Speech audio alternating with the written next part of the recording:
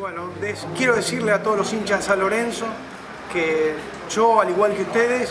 deseamos con, con el alma, que la tenemos teñida de azul y grana, volver a, a tener lo que nos sacaron, que es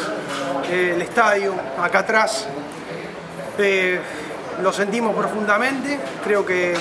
el gobierno de la ciudad tiene que restituirle a San Lorenzo lo que la dictadura le sacó, cometiendo una de las injusticias más grandes para un club que no solamente significó la pérdida del estadio, sino también la pérdida de la masa societaria. Le pedimos a los, que legislan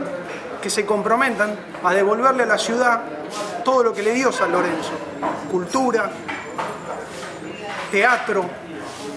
deporte, gloria deportiva, familias que se reunían acá. Mi mamá venía al cine, mi mamá venía con mi papá a los carnavales a bailar. Mi abuelo puso tablones de este estadio, que hoy no está, pero que si uno camina por acá, yo que no lo conocí, lo veo a través de los ojos de, mi abuelo, de mi viejo, y ahora con mis hermanos, que vamos al nuevo gasómetro,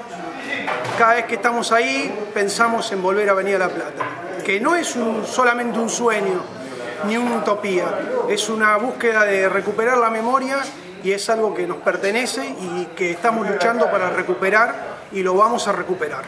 Estoy seguro de eso.